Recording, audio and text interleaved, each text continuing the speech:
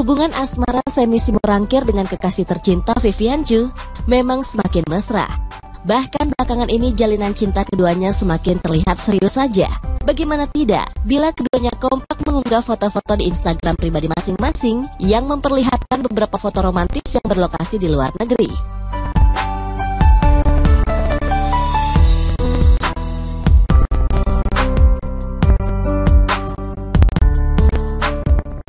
Foto-foto tersebut disinyalir merupakan foto prewedding mereka. Asalnya dalam sebuah foto yang diunggah Semi, penyanyi kelahiran Bandung ini tengah berlutut di hadapan Vivian yang sedang menuruni sebuah kereta kuda.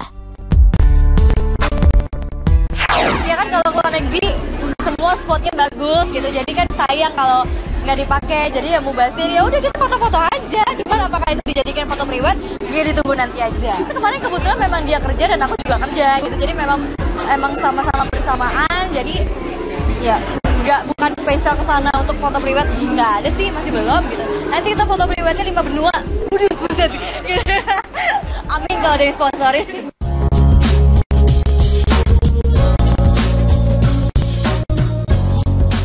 Tak bisa dipungkiri setiap pasangan yang tengah menjalin hubungan asmara tentu ingin mengakhiri biduk cinta mereka di latar pernikahan. Begitu juga dengan Vivian.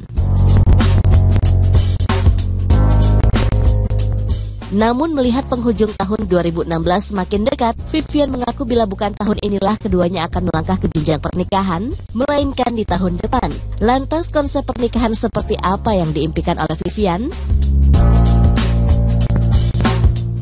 Amin, doain aja. Kepengennya, kepengennya aku sih nggak muluk-muluk, nggak mau yang heboh-heboh gitu. Pengennya yang bener-bener intimate, bener-bener yang sakral, terus bener-bener yang berasa banget kekeluargaannya.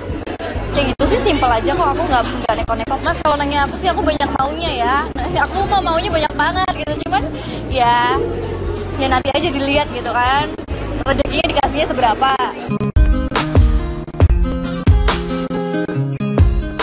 Sebagai seorang wanita, tentu saja Vivian sempat mengharapkan untuk menikah di tahun ini. Namun ia memiliki alasan tersendiri mengapa bukan di tahun inilah wanita 29 tahun ini dan Semi akan menikah.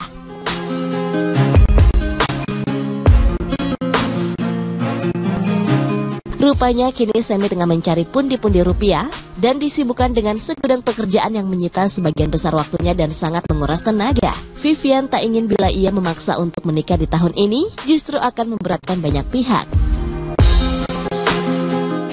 Banyak bu, cari uang juga dipikirin loh.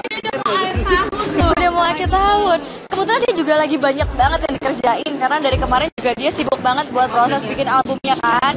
Jadi bener-bener yang cukup menguras tenaganya dan ini pun dia juga keluar kota terus saya ditinggal terus. Ya weekend juga ditinggal gitu.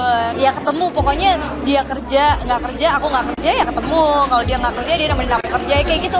Pokoknya pasti ketemu ketemu gitu. Cuman ya memang dia punya kesibukan juga dia masih off airnya juga puji Tuhan masih jalan diberkati dan proses albumnya juga semuanya berjalan dengan baik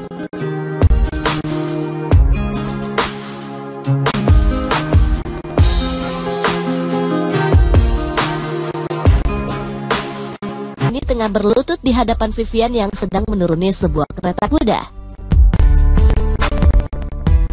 Ya kan kalau luar negeri semua spotnya bagus gitu, jadi kan sayang kalau nggak dipakai. Jadi ya mau basir ya udah kita foto-foto aja. Cuman apakah itu dijadikan foto priwet?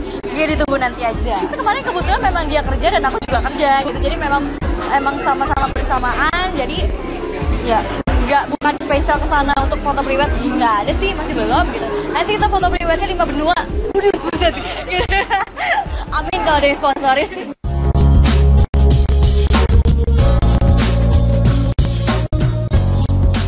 Tak bisa dipungkiri setiap pasangan yang tengah menjalin hubungan asmara tentu ingin mengakhiri biduk cinta mereka di latar pernikahan. Begitu juga dengan Vivian. Namun melihat penghujung tahun 2016 semakin dekat, Vivian mengaku bila bukan tahun inilah keduanya akan melangkah ke jenjang pernikahan, melainkan di tahun depan. Lantas konsep pernikahan seperti apa yang diimpikan oleh Vivian?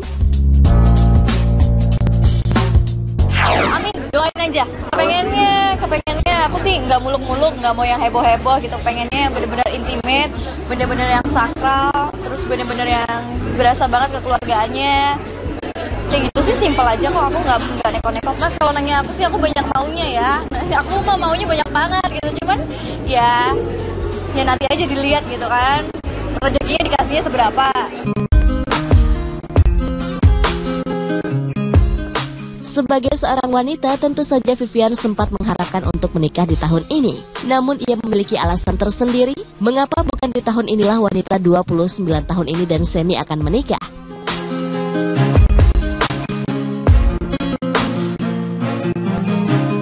Rupanya kini Semi tengah mencari pundi-pundi rupiah dan disibukkan dengan segudang pekerjaan yang menyita sebagian besar waktunya dan sangat menguras tenaga. Ini tengah berlutut di hadapan Vivian yang sedang menuruni sebuah kereta kuda. ya kan kalau keluar negeri semua spotnya bagus gitu. Jadi kan sayang kalau nggak dipakai. Jadi ya mau basir ya udah kita foto-foto aja. Cuman apakah itu dijadikan foto priwet ya ditunggu nanti aja. Kemarin kebetulan memang dia kerja dan aku juga kerja gitu. Jadi memang emang sama-sama bersamaan jadi ya nggak bukan spesial ke sana untuk foto priwet nggak ada sih masih belum gitu nanti kita foto priwetnya lima benua udah amin kalau ada yang sponsorin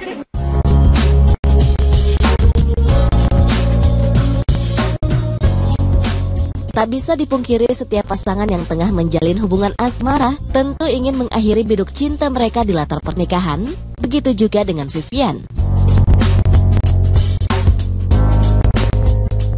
Namun melihat penghujung tahun 2016 semakin dekat, Vivian mengaku bila bukan tahun inilah keduanya akan melangkah ke jenjang pernikahan, melainkan di tahun depan. Lantas konsep pernikahan seperti apa yang diimpikan oleh Vivian?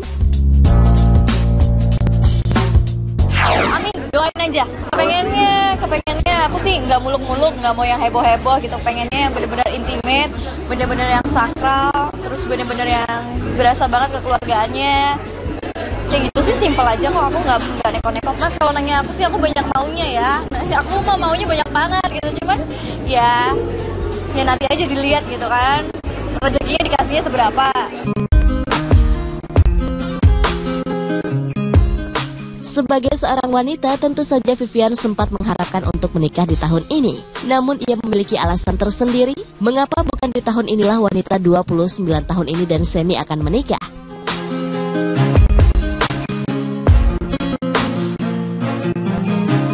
Rupanya kini Semi tengah mencari pundi-pundi rupiah dan disibukkan dengan segudang pekerjaan yang menyita sebagian besar waktunya dan sangat menguras tenaga. Vivian tak ingin bila ia memaksa untuk menikah di tahun ini justru akan memberatkan banyak pihak.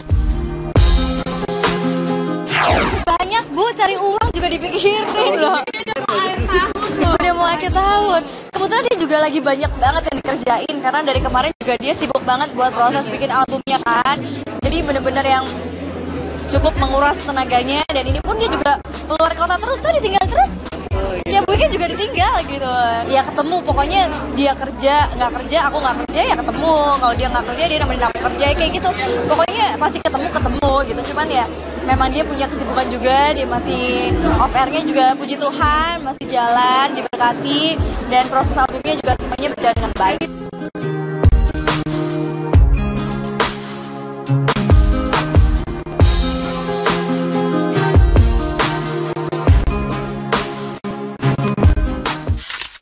Aduh. Oh, belum foto priwet kok. Soalnya katanya nanti priwetnya mau di lima benua dan lebih gongnya lagi adalah menunggu sponsor. Nah, tapi mungkin itu bukan priwet. Tapi kok udah nih mun berarti berdua? Eh, eh, eh. bukan eh, juga eh, ya. bukan, ya, belum, mereka belum. lagi uh, ada kerjaan Hmm, sekalian nah, jalan-jalan. mungkin mungkin itu alasannya. Tapi pastinya yang namanya orang happy happy menikah kita pasti ngedoain ya. Betul, apalagi pasangan ini seru banget, bahagia banget kelihatannya. Kita doakan semoga, yang Semoga terbaik, langgeng, lancar. betul. Oke, terima kasih banyak juga untuk pemirsa karena sudah tidak terasa nih satu jam kita menemani anda semua. Ya di rumah baru kita semoga berkenan ya pemirsa dan jangan lupa juga nanti siang ada insert siang ada update juga pada pukul 11 nanti Bu Fenita akan hadir juga kita lihat di awal ya Betul. akan hadir di siang Betul, dan betul. jangan lupa saksikan insert pagi setiap hari pada pukul 6.30 waktu Indonesia Barat tentunya di Trans TV, Milik kita bersama.